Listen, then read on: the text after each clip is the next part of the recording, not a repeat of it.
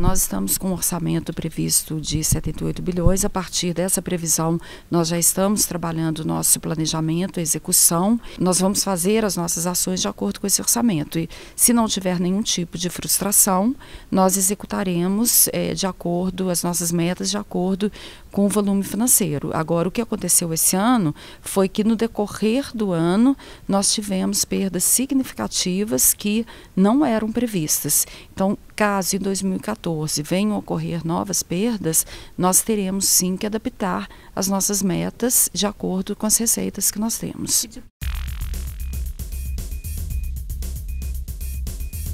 Tivemos uma frustração muito grande com o ICMS da energia, que foram 600 milhões, fundo de participação é, dos estados, que nós é, tivemos uma diminuição muito grande.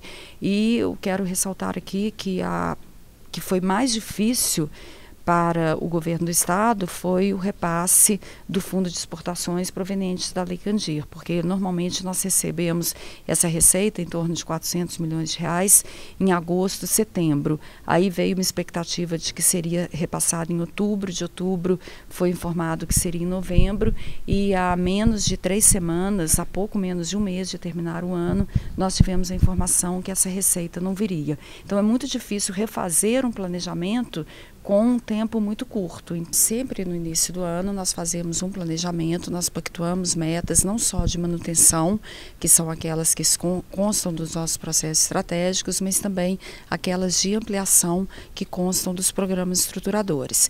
Então, muitas das ampliações que nós pretendíamos fazer, elas não puderam acontecer na forma que nós esperávamos, na velocidade que nós esperávamos. Nós tivemos que fazer algum tipo de redução para adaptar ao tamanho tamanho do nosso orçamento. Nós não podemos gastar mais do que aquilo que nós temos. Nós temos um planejamento que ele é realista, inclusive é o único estado que todo ano faz uma revisão anual do seu planejamento para que ele possa se adaptar a todas essas conjunturas econômicas, sejam aí de restrições da economia ou de frustrações como as que ocorreram esse ano. Um exemplo que eu poderia dar aqui, o programa de prevenção, o Fica Vivo, que é um programa que é reconhecido internacionalmente, que nós estamos expandindo expandindo a cada ano, ele é muito importante porque toda ação preventiva ela tem um retorno muito maior para a sociedade e nós tivemos que reduzir um pouco essa meta. E aí vão vários outros programas em várias outras áreas do governo, como na área, por exemplo, de turismo, os destinos turísticos, que nós tínhamos intenção de fazer um número maior. Então, é, como eu disse, eu não posso gastar mais daquilo que eu tenho, então eu tenho que calibrar as minhas metas de acordo com as minhas receitas.